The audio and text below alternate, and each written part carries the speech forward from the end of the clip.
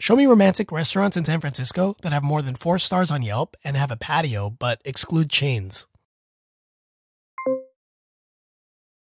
Here are several restaurants with more than four stars in San Francisco that have outdoor seating excluding chains and franchises. Sort by rating, then by highest price, but exclude the ones with $4 signs. Okay, here are several restaurants excluding the ones with $4 signs sorted by rating then sorted by highest price. Don't show anything with less than 100 reviews. Okay, here are several restaurants based on more than 100 reviews. Only include the Japanese and Italian ones. Okay, here are several results. How long does it take to drive from San Francisco Airport to the first one? It will take approximately 25 minutes to drive 15 miles from San Francisco International Airport to Bistro Central Park located at 560 Central Avenue in San Francisco. Does it have parking?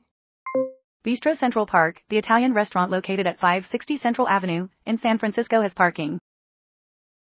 Call it. Calling Bistro Central Park located at 560 Central Avenue in San Francisco.